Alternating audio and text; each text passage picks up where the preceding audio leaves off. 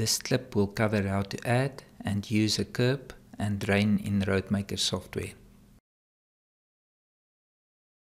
We continue from the clip top profile design and assume you already have a design top profile defined. First we add a curb, go to the data general parameters or use the shortcut icon. Select curb definitions. Tick the use these defined curbs.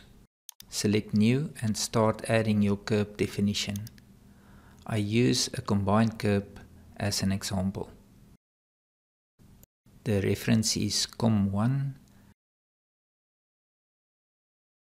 The description combined figure 3 and figure C900.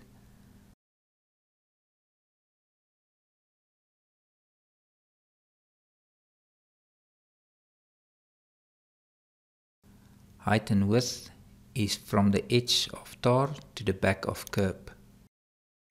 Note all the dimensions are in millimeters. The horizontal and vertical distances are entered in a clockwise direction from the bottom edge of the first vertical segment below the edge of tar. You can calculate it based on the dimensions of the individual curbs.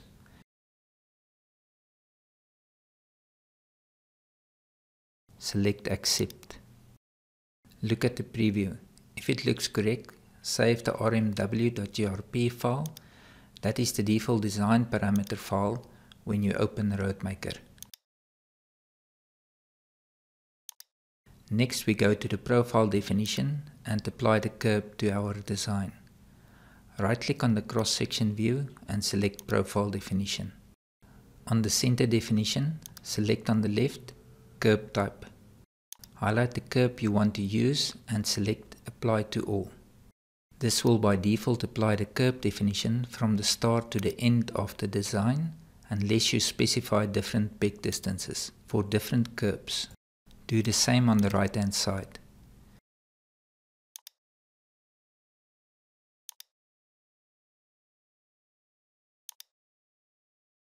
Check if the curb is placed correctly in your profile.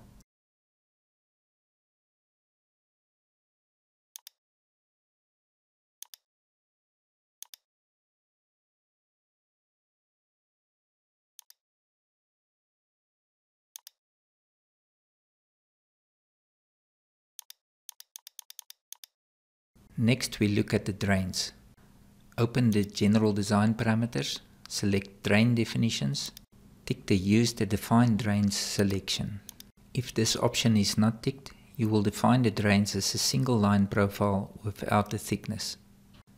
Select new, add the detail of the drain. In the example I add a V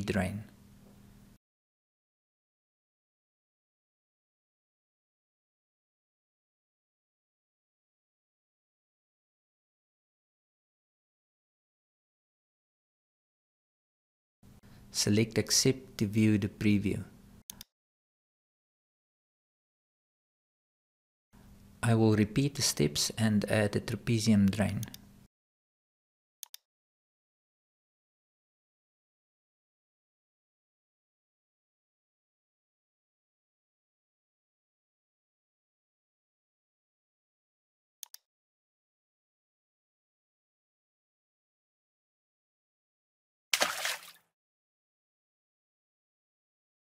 Once finished, select Accept and view the preview. If the drain definition are acceptable, select Save and save the rmw.grp file in the RM settings folder, the same file we used for the curbs.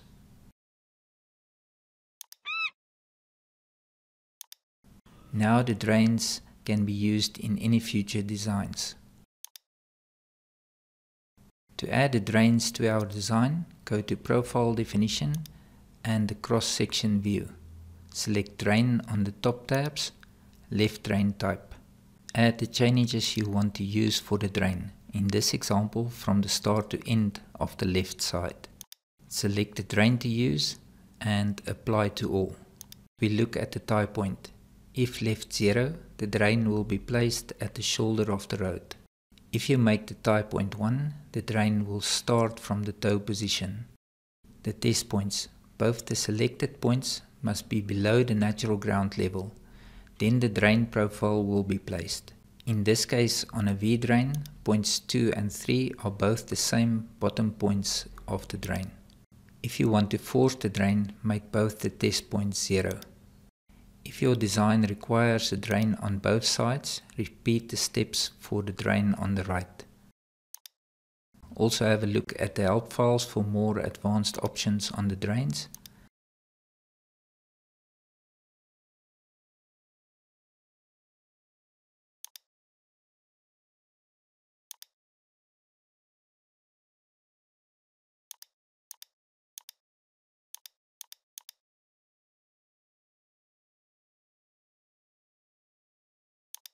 Save your design as a .pr3 file to keep the changes.